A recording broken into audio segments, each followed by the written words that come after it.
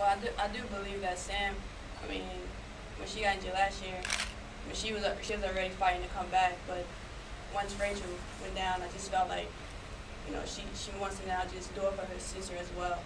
Um, she's, I mean, I just see her just just fighting in, in therapy and just uh, being out there with us, just working really hard, you know, wanting to come back. So I definitely see a, a difference. Um, she, I feel like she's doing it for her as well as her sister.